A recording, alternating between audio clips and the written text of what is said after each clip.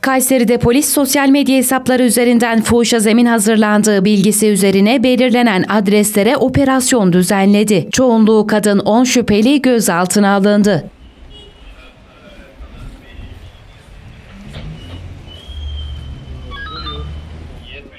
Kayseri İl Emniyet Müdürlüğü, Asayiş Şube Müdürlüğü Ahlak Büro Amirliği ekipleri toplanan bilgiler doğrultusunda çalışma başlattı. 10 şüpheli şahsın sosyal paylaşım siteleri üzerinden yayınladıkları ilanlar veya bu mecralar aracılığıyla verilmiş ilanlarla Kayseri ve çevre illerinden müşteri bularak para karşılığında fuhuş amaçlı kadınları pazarladıkları belirlendi. Şahısların ayrıca maddi durumu iyi olmayan kadınları çaresizliğinden yararlanarak fuhuşa sürükledikleri, fuhuşa aracılık edip yer ve imkan sağladıkları, geçimlerini bu yolla temin ederek haksız kazanç elde ettikleri, fuhuş için kendi ikametlerini veya tanıdıklarına ait başka evleri kullandıkları, evini kullandıran erkeklere kadınları sundukları, birbiriyle irtibatlı olarak planlı ve koordineli bir şekilde çalıştıkları tespit edildi. Polis belirlenen adreslere eş zamanlı operasyon düzenledi. Baskında 10 şüpheli gözaltına alındı. Çoğunluğu kadın olan şüpheliler emniyetteki işlemlerin ardından adliyeye sevk edilecek.